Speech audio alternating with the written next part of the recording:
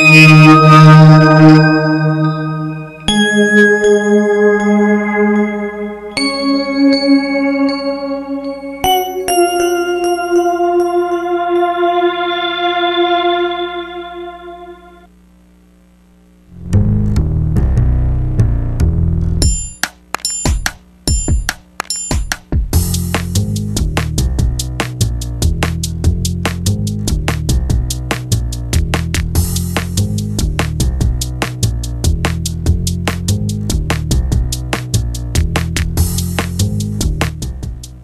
Muy buenos días, alumnos de la Escuela Secundaria Técnica número 28, turno matutino. Les envío un, saludo cariñoso a todos mis alumnos, esperando que estén bien en compañía de su familia. Hoy estamos en las oficinas de la Dirección General eh, este, Televisión para crear este video que les servirá de apoyo y seguimiento a las actividades. El objetivo de este medio es continuar con nuestros proyectos y actividades pendientes para la evaluación. Eh, pongan mucha atención, alumnos. Voy a mencionar algunas de las actividades que me interesa que, que continúen. Quiero que observen la página, por favor, de caligrafía, ejercicios para agilizar la mano, primera y segunda parte. Aquí aparece la página de la autora Verónica Vargas Caña. Por favor, quiero que continúen ustedes con esa práctica. Si no hay cuaderno doble raya en su momento, porque los útiles están en el aula, les sugiero por favor realizar dos planas en otro cuaderno, donde ustedes se adapten. Primera actividad.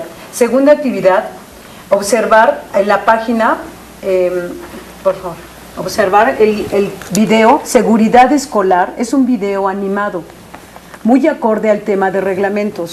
Les solicito por favor que observen el, el, video Seguridad Escolar, video animado del autor Supervisión Escolar, y ustedes redacten en, páginas blancas el otro, eh, otro reglamento con 10 puntos apegados a la forma verbal que nosotros nos quedamos, ya sea infinitivo, ya sea en futuro o sea en imperativo. En siguiente actividad les sugiero el video El día en que todo se movió. Ese video está apoyado por la Ciudad de México para orientar a los alumnos sobre la situación que enfrentamos. Les pido por favor, la tarea va a ser redactar en dos o tres cuartillas su experiencia, viendo desde diferentes ámbitos en la escuela, en su casa, en, la comunidad. ¿Cómo, ¿Cómo lo percibieron ustedes? Van a ser de dos a tres cuartillas, por favor. Eh, las, ¿Dónde se van a mandar las actividades? Las actividades van, va a aparecer un blog, van a publicar un blog en la Secundaria Técnica 28 para que aparezca y para que de esa forma nos vamos a estar comunicando. Lo importante, alumnos, es no dejar de, trabajar. Tenemos que, seguir, tenemos que seguir adelante con mucho ánimo. Quiero mencionar las actividades también de mis dos grupos, tercero E y tercero F. Estábamos en el ámbito de literatura. Les solicito por favor que vean este video sobre el romanticismo del autor Antonio García Mejía. En ese video, por favor, quiero que lo pongan, lo vean y lo reflexionen con mucha atención.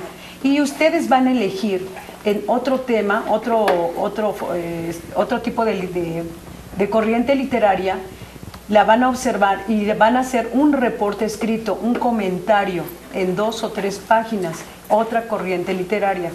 También les sugiero grupo de tercero E y tercero F que observen el video en el día en que todo se movió. Es el mismo video que estoy indicando para primero. Me interesa mucho saber su experiencia, no nos hemos visto, pero espero con todo corazón que nos podamos adaptar a este medio. ¿sí? Muchas gracias alumnos y les envío un saludo cariñoso. Gracias. Ahora mi compañera, la maestra Susana, Susana es Torres, del turno matutino, va a dar sus indicaciones. Gracias. Hola, muy buenos días. Soy la maestra Susana Torres Lara, trabajo en la Escuela Secundaria Técnica 28. Imparto la materia de español a los seis grupos de primero y al segundo A y segundo B del turno matutino. Nosotros nos quedamos también en el proyecto 1 sobre los reglamentos. Recordarán ustedes que en este proyecto trabajamos las características de los diferentes reglamentos e identificamos los verbos y las formas verbales que deben estar escritas estas reglas. Reconocimos la importancia de estos reglamentos para que haya un, una, una sociedad con valores y sin problemas de indisciplina. Entonces, retomando este, este proyecto, vamos a dar continuidad a nuestro trabajo porque es importante seguir con el trabajo que se quedó pendiente. Entonces, vamos a dar inicio al proyecto 2, el cual trata sobre mitos y leyendas. Este proyecto 2 tiene como nombre Se cuenta por ahí. Y entonces, en este proyecto vamos a rescatar los conceptos de mito y de leyenda, sus características, diferencias, semejanzas, y vamos a trabajar una antología hacer, acerca de estos mitos y leyendas, los más comunes en su comunidad. Entonces vamos a empezar con la definición de leyenda. La leyenda es un texto narrativo, puede ser oral o escrito, que se cuenta a partir de un hecho real que sucedió en algún momento de la historia, pero como va de boca en boca o de generación en generación, este ha sufrido modificaciones, se ha ido adaptando al paso de los años. Entonces, este, en esta leyenda los personajes pueden ser personas humanas o pueden ser personajes sobrenaturales.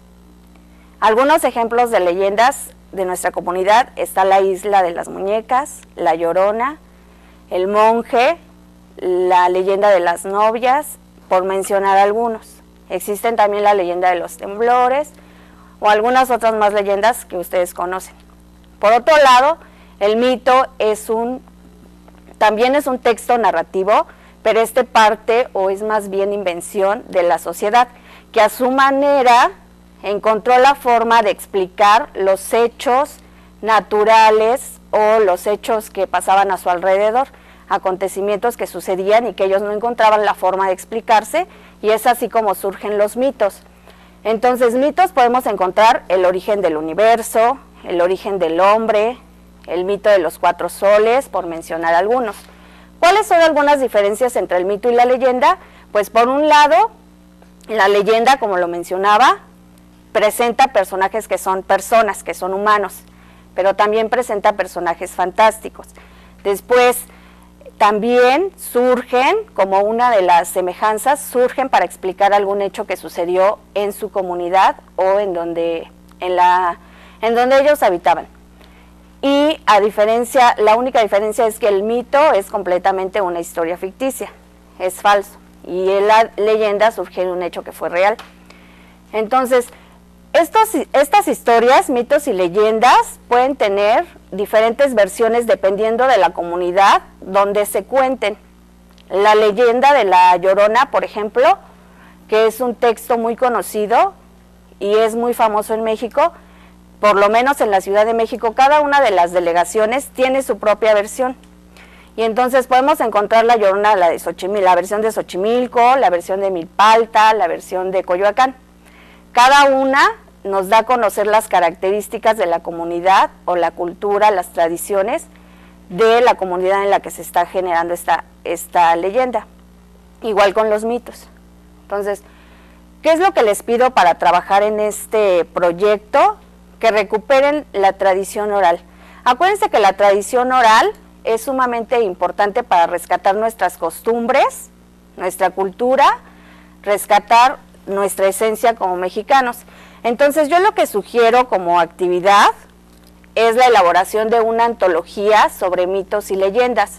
Van a recopilar con sus familiares, con alguien cercano a ustedes, sus abuelos, sus papás, su mamá, sus hermanos, tíos, etcétera, tres relatos que conozcan de su comunidad y los van a escribir en una antología.